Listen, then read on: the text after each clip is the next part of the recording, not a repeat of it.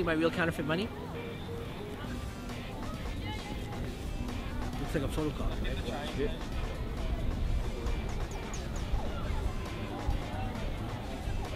That's one way to make money, right? Hi there, this is called RCM, Real Counterfeit Money. Have you seen my real counterfeit money? Some people think it's a photocopy, right? But I can actually take it, make it into real money. So far, so good? Yeah. Cool. Look, I'm not gonna look. I'm just gonna rip off the corner. Hold that, right? Still not gonna look. He's gonna look. I'm not gonna look. Okay. I'm gonna try something a little bit weird. I want you to see this. Watch.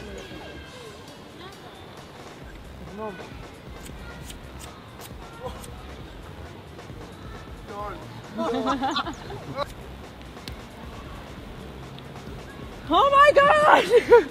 Oh wow! Oh, that's amazing! You weren't expecting that on your way, were you? No! Oh my god, that's fabulous. So we ripped the corner off my card and then suddenly it was in here. How fabulous! That's amazing.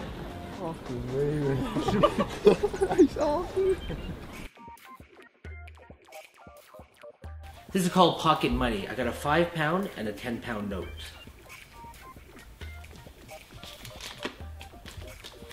Take the five pound note, put it in my pocket. Now watch the ten pound note. I can take it and change it into the five pound note.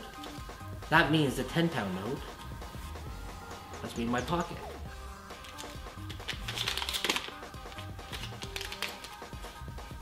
Pocket money.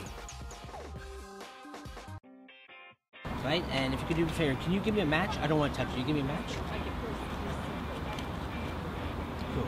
Now I got a weird question. Do you guys believe in voodoo at all? Um, I told you it's a weird question. Give me your hand. Close your hand around the match. Hold it up like this, right? Watch.